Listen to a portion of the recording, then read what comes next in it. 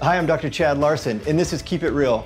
Keep It Real is all about real talk based on my 20 plus years of clinical experience. What we're really talking about is real food, real medicine, and real change.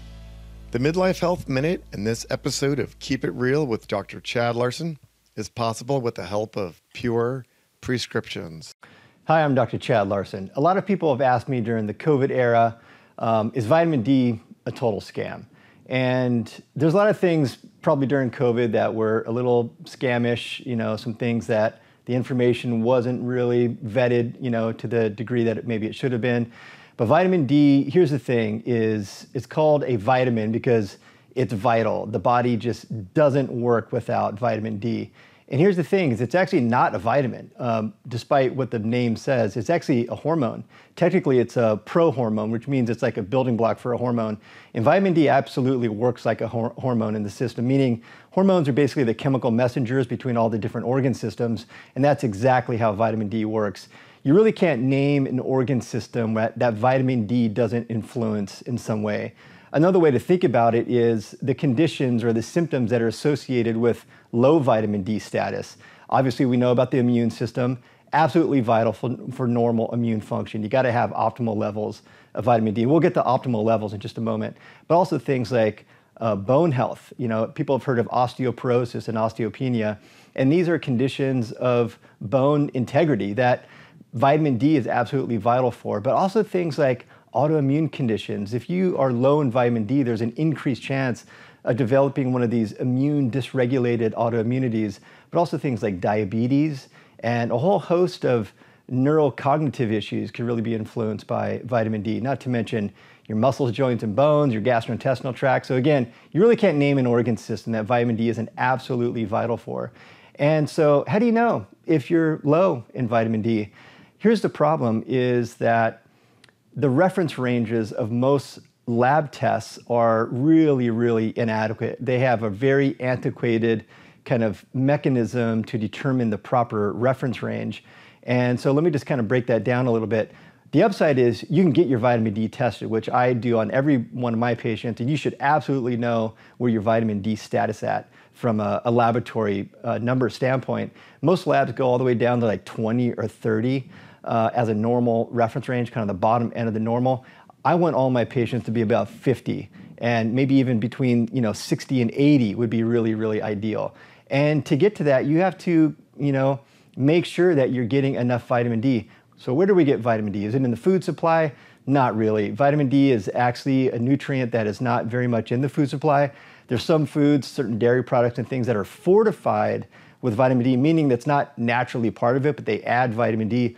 The type of vitamin D that they add is vitamin D2, which is basically a non human form of vitamin D. It's not very usable by the human body. You really want to get vitamin D3 if you're going to take it in supplemental form, and you want to take the right dose that's going to get you to that level between you know 60 and 80 uh, on a lab test. And for most people, that's probably around 5,000 international units of vitamin D per day. But really get the test done so you can really take the guesswork out.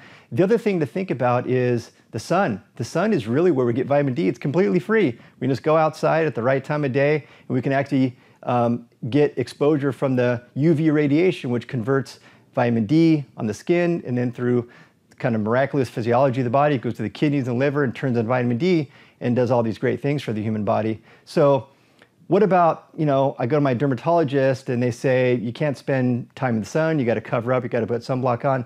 But here's the thing is that there is kind of a formula where it's true, too much, you know, sun exposure at the wrong time could be bad for the system. So there is a bit of a formula, and the formula is you only want to be out in the sun between 12 and 3 for half the time it takes you to burn. So relative to your skin type, if you'd normally burn at like 30 minutes, you want to be unexposed, or let's say unprotected, fully exposed, as much skin as, as appropriate for about 15 minutes. And that 15 minutes, you've probably made between 5 and 10,000 IU of vitamin D. And then you want to protect and put whatever sunscreen or put clothes on or something like that because there's, you know, I live in Southern California. This is where my practice is. And I test everybody for vitamin D. And I find low vitamin D all the time. And the reason why, even people who are who think they're outdoorsy, they're really not out, as outdoorsy as they think they are, at least relative to our genetics.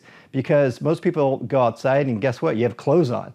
Or some people even put sunscreen on before they even walk outside. So they're already blocking the effect of the vitamin D.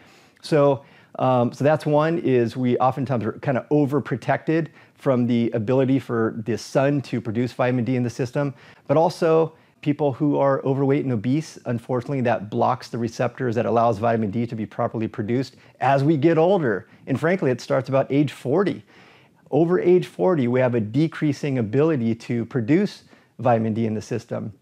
And then things if we have like metabolic issues like um, you know, blood sugar dysregulation and internal inflammation. These will also inhibit the body's ability to uh, produce vitamin D. So there's lots of things that sort of disrupt vitamin D. We can get vitamin D free from the sun, but um, I very much encourage you to get your vitamin D tested and then take the right amount supplementally and or get it from the sun using that formula and to really get your vitamin D up to those really, really optimal levels because it's vital just for general health. So Get your vitamin D, absolutely not a scam. It's one of the most important nutrients and one of those that I see probably most commonly insufficient, if not deficient, in a large majority of people. So hopefully, little food for thought, get your vitamin D, enjoy the sunshine. A little extra bonus, go exercise outside so you're getting two birds with one stone and uh, enjoy the vitamin D. Until then, I'll see you next time. Keep it real. The Midlife Health Minute and this episode of Keep It Real with Dr. Chad Larson is possible with the help of Pure Prescriptions. Visit our friends over at pureprescriptions.com by using the link in the show notes and to learn more about this great family owned company.